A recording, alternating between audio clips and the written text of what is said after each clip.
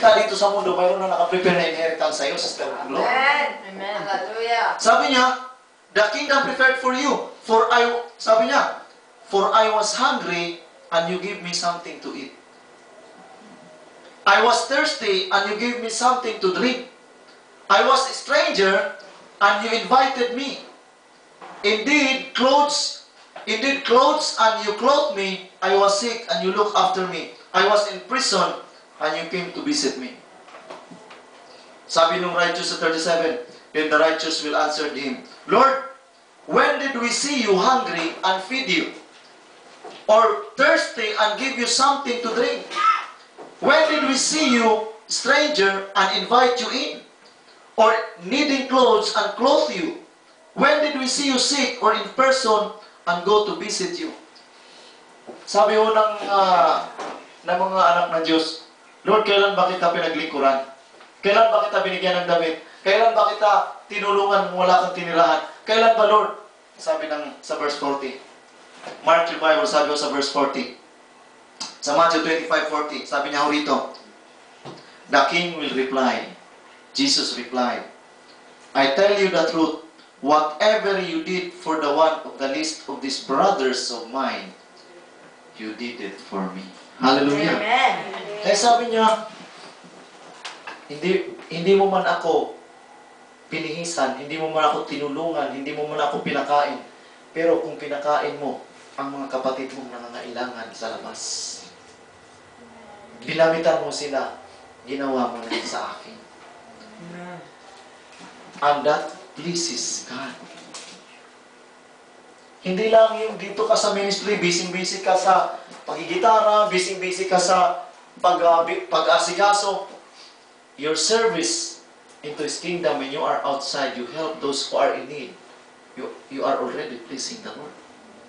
Kaya sabi ko, Lord, ah, dalawang points na ako. Sabi mo nga sa katabi, Lord, nakadalawang points na ako. Nakadalawang palas na ako. See? Hindi natin alam, yung ginagawa pala natin, na-please na pala natin ang Lord. Amen. So, hindi pala, ang pagkaala natin, ang hirap i-please ang Lord. Mayroon na siya lahat eh. Sabi niya, kung may faith ka sa akin, na-please mo ako. Kung pinaglingkuran mo, tinulungan mo ang mga kapatid mo, na-please mo ako. When was the last time you care for your brethren? If you keep on doing it, then you always keep on serving God. You always pleasing God. Amen? Hallelujah. Are we learning something? Pangatlo, the book of Philippians chapter 4 verse 18. Philippians chapter 4 verse 18.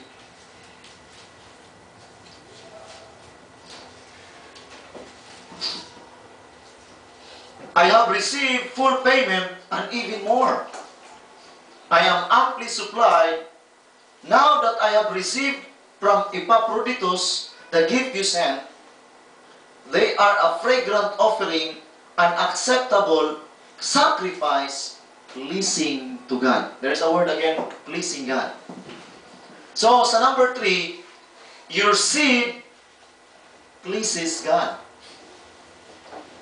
Your gift, your offering, your seed, whatever kind of gift for the Lord, it pleases Him.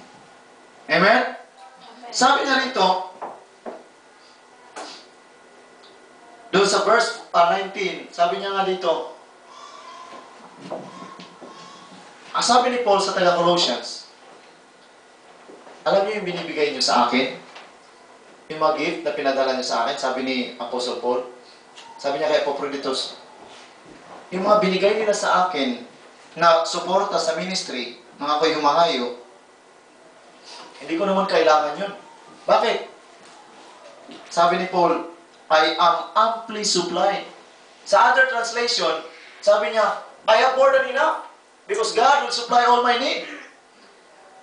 Yung gift na na-receive ko sa inyo, now that I have received the gift from Epaphroditus, they are fragrant offering, an acceptable sacrifice to God, unpleasing to God.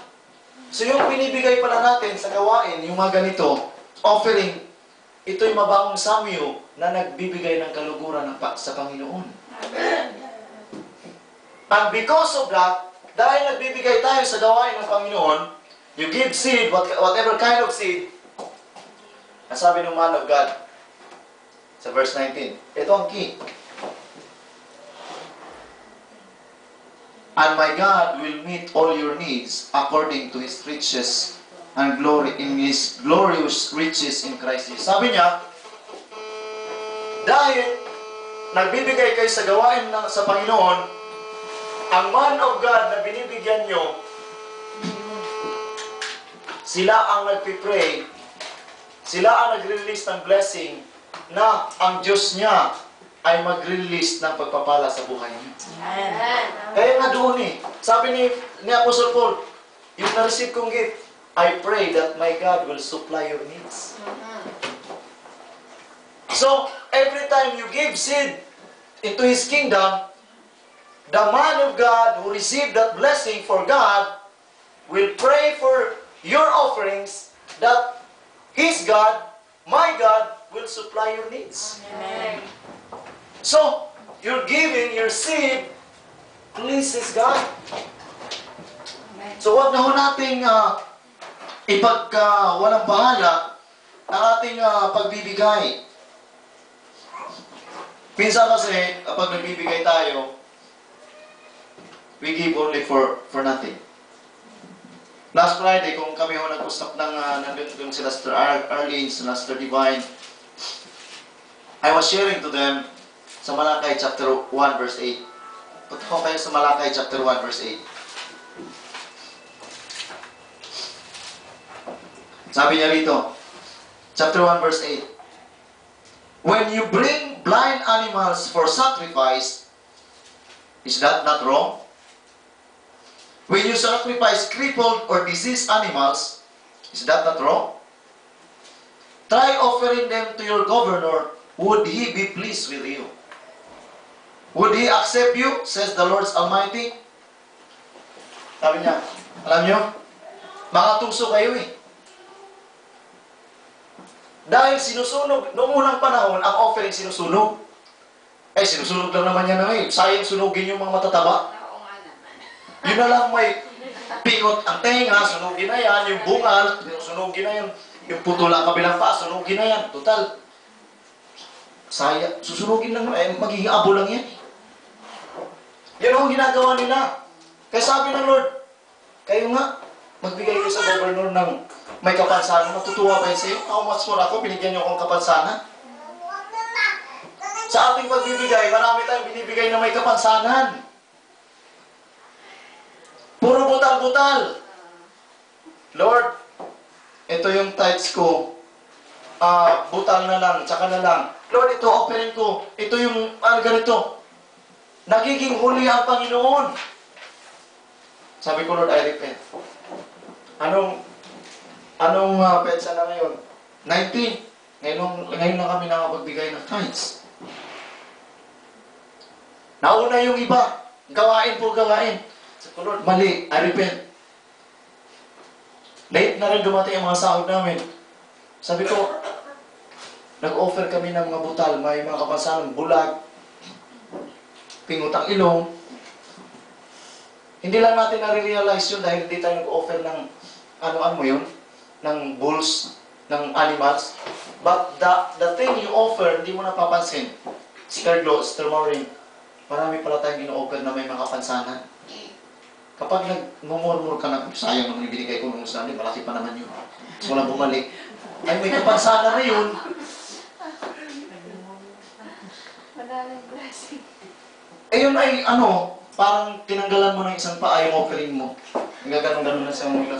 Naghihinga, naghihinga na makarating sa trono ng biyaya.